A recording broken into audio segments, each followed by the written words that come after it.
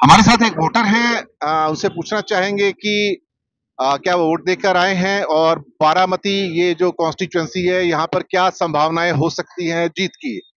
जी। क्या लगता है आपको? यहाँ पे चुनाव का माहौल ऐसा है शरद चंद्र पवार साहब की जो कन्या है सुप्रिया सुले उनकी जो निशानी तुतारी वही चुन के आएगी हंड्रेड परसेंट अच्छा कितना परसेंट वोट हो गया और कितने की संभावना है? अब तक 45 परसेंट वोटिंग हुआ है। मैंने इस पे गूगल पे सर्च किया तो लेकिन 55 परसेंट तक जाएगा। उसके आगे तो नहीं जा सकता। आपको यकीन है कि शरद पवार की बेटी सुप्रिया सुले बारामती से जीत जाएँगे? हंड्रेड परसेंट जीत जाएँगी क्योंकि उनकी पंद्रह साल का यहाँ पे काम है। जैसे कॉर्पोरेटर जैसे काम करते उसी गले गले में आके खुद सुप्रिया सुले यहाँ पे काम करती है। जो कि कौन सी इंडिया में कौन सा एमपी काम नहीं करती। और जो यहाँ पे क्वेश्चन है लोगों के पूरे इंडिया में पहले टेन खासदार जो एम है उनमें से सवाल उठाती है संसद में जाके लोगों के लिए। बाकी कोई सांसद यहाँ पे ऐसा काम नहीं करता। महाराष्ट्र में तो सबसे एक नंबर खासदार वही है एमपी वही है। धन्यवाद। तो आज आपने वोट दिया? हाँ हाँ देकर आए वोट। ये देखिए।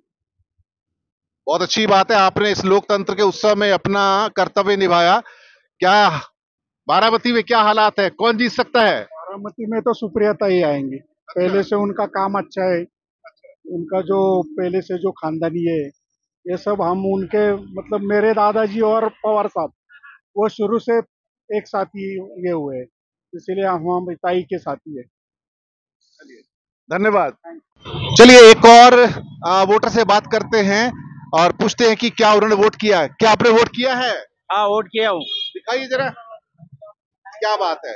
बहुत अच्छी बात है आपने अपने कर्तव्य का निर्वहन किया है और आपके हिसाब से बारामती में क्या परिस्थिति है? यहाँ तो सुनेत्रा पवार जो अजीत पवार की पत्नी है और साथ में शरद पवार की जो एनसीपी है उनकी ओर से उनकी पुत्री सुपुत्री सुप्रिया सुले क्या लगता है आपको? किसकी जीत की संभावनाएँ हैं?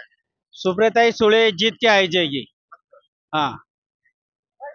सुप्रियताई सुळे जीत के आ जाएगी। इसका मतलब शरद पवार के प्रति लोगों की सहानुभूति काफ़ी है। Hundred percent. Okay thank you हमारे साथ एक और वोटर हैं जो वोट दे के आए हैं। जरा देखते हैं उन्होंने अपनी फिंगर पे उनका निशान लगाया। जी हाँ बिल्कुल। और जी आपने वोट किया है? हाँ जी किया है मैंने वोट। ओके। और तो लोकतंत्र के पर्व में आपने कर्तव्य निभाया आपने बहुत अच्छी बात की आपने हमें बहुत खुशी है इस बात की। और बारामती लोकसभा कॉन्स्टिट्यूंसी का ये एक हिस्सा है। आपको क्या लगता है कि यहाँ पर किसके आसार हैं? यहाँ दो महिलाएँ सशक्त महिलाएँ अजीत पवार की वाइफ हैं सुनेत्रा और शरद पवार जी की पुत्री सुप्रिया सुले। आपको क्या लगता है किसकी संभावनाएँ हैं? दोनों भी वैसे बहुत ही टफ मतलब ये है लेकिन मुझे ये लगता है कि सुनेत्रा मैम जीतनी चाहिए। ये मेरी मतलब ये है। और वो जीतेंगी शायद से। अभी देखते हैं क्या रिज़ल्ट आएँगे। तो शरद पवार जी की जो सुपुत्री है वो कमज़ोर है आपको? नहीं नहीं वो कमज़ोर नहीं है। दोनों भी मतलब है टफ लेकिन मैंने मेरा ये ओपिनियन ये किया है लेकिन मुझे लगता है कि सुनेत्रा मैम ही मतलब ये आएँगी। एक और यहाँ पर पेड़ हैं जो वोट देकर आए हैं। चलिए उनसे पता करते हैं कि अ, क्या उन्होंने वोट दिया? क्या आपने वोट दिया है? दिखाइए जरा। निशान तो लगाया होगा। तो लोकतंत्र के उत्सव में आप आए हैं और आपने अपने कर्तव्य का निर्वहन किया है। और क्या लगता है बारामती में कौन जीत सकता है? हैं सुप्रिया सुळे सुप्रिया सुले जीत सकती है बहुत अच्छी बात है। और सुनेत्रा? सुनेत्रा पवार? वो आएगा ना। वो भी आएगा। आपकी नज़र में कौन जीत सकता है यहाँ पर? सुप्रिया ताज सुले ओके ओके यहाँ पर भी हमारे साथ और भी एक दो एक महिला पुरुष हैं जो देख के आए हैं। उनसे पूछते हैं कि आ, जी आपने वोट किया? हाँ बताइए जरा कहाँ पर? आपका निशान लगा? फिंगर। बिल्कुल सही बात है। और आपको क्या लगता है बारामती से कौन जीत सकता है? सुप्रिया सुळे सुप्रिया सुले अच्छा अच्छा। सुप्रिया सुले ने अच्छा काम किया आपकी नज़र में। आपने आपका आपने वोट दिया क्या? अरे क्या बात है बहुत बढ़िया। तो कौन जीत सकता है यहाँ पर? जी सुप्रिया सुले का ज़्यादा चांसेस है कि उन्होंने बहुत काम किया है अच्छा। Okay okay. बहुत अच्छी बात है। बहुत बहुत धन्यवाद आपका। यहाँ पर दो और यंग लेडीज़ हैं ये भी अपना वोट दे के आई हैं। जरा देखते हैं कि ये बिल्कुल अपने निशान दिखा रही हैं। चलिए उनसे पूछते हैं कि आ, तो आपने वोट दिया यहाँ पर? हाँ। आपने भी वोट दिया है? है। बहुत अच्छी बात है। आपकी नज़र में क्या संभावना है बारामती कॉन्स्टिट्यूंसी में? सुप्रिया ताई सुळे सुप्रिया ताई सुळे ओके। और उसके सामने भी तो एक बड़े सशक्त उम्मीदवार हैं सुनेत्रा पवार। अच्छा तो अच्छा। सुप्रिया ताई सुप्रिया ताई जीते आपकी नज़र में वही सुप्रिया सुप्रिया वो जीतेंगी पक्का? पक्का। अच्छा अच्छा। ऐसा क्यों लगता है आपको कि सुप्रिया जीतेंगी? अच्छा हाँ। अभी तक बीजेपी आई है हाँ। तो उनको भी चांस मिलना चाहिए ना। उनको भी चांस चांस मिलना मिलना चाहिए। चाहिए। उन, वो भी कुछ तो भी बदलाव ला, लाएँगे। अच्छा किस किस्म का बदलाव ला सकते हैं बताइए क्या आपकी क्या बदलाव की नौ, अपेक्षा नौजवानों को नौकरी हाँ। चाहिए हाँ, वो उनकी वो ज़रूरत है अच्छा जो महँगाई बढ़ गई है वो कम करनी चाहिए हाँ। क्योंकि बीजेपी आया है महँगाई तो बढ़ी है लेकिन अब पेमेंट भी बढ़ा है उसके साथ साथ में हाँ। लेकिन महँगाई भी बढ़ाई है कांग्रेस के जमाने में वैसे नहीं था जब राहुल गांधी राजीव गांधी इंदिरा गांधी थे उनके जमाने में इतनी महँगाई नहीं थी हाँ। तो बीजेपी आई है तो सब पे जीएसटी लग रहा है टैक्स लग रहा है ये सब कम होना चाहिए।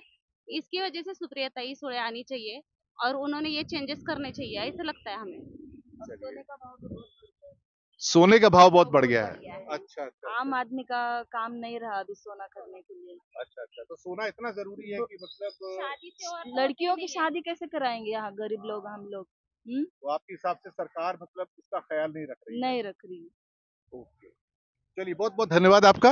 आपने अपने लोकतंत्र के उत्सव में अपना कर्तव्य निभाया। बहुत बहुत धन्यवाद आ, एक और आ, महिला वोटर हैं उनसे बात करेंगे। और जी आपने वोटिंग किया है? दिखाइए जरा। जी लोकतंत्र का आपने बिल्कुल निर्वहन किया है परंपरा का। तो बताइए बारामती में किसकी संभावनाएँ हैं? नहीं अभी तो मैं कुछ नहीं बोल सकती। अच्छा अभी कुछ नहीं सकती। लेकिन आप सरकार से क्या चाहते हैं? क्या बदलाव चाहते हैं? जिसको आप चुनेंगे उनसे क्या चाहते हैं? वो आपके लिए क्या करें? सभी के लिए कुछ अच्छा जो है परिवर्तन वो सभी सभी सभी का हित से वो परिवर्तन चाहिए। सबका परिवर्तन चाहिए। सभी मतलब सभी जो जनता है उनका जो हित है वो परिवर्तन चाहिए। अच्छा उनके हित में होना चाहिए। तो अभी आप ये नहीं कह सकते कि कौन जीतेगा। नहीं कुछ आइडिया नहीं। चलिए ठीक है बहुत बहुत धन्यवाद आपका। एक और महिला से बात करते हैं और पूछते हैं कि सरकार से इन चुनाव में वो किन किस्म के बदलावों की उम्मीद कर रहे हैं? सरकार से यही उम्मीद है कि वो लोगों के कल्याण के लिए कार्य करे, न कि अपने स्वार्थ के लिए। और जो यंगस्टर है, उनको भी नए काम की संधि दे और कहीं पर भी भेदभाव ना करे, आरक्षण को खत्म करे, ये मेरी इच्छा है दिल से। और इतना ही मैं निवेदन करूँगी कि निष्पक्षवादी से चुनाव हो यहाँ पर कोई भी प्रकार का दबाव नहीं आना चाहिए जनता पर। बस यही मेरा अनुरोध है। धन्यवाद आपका।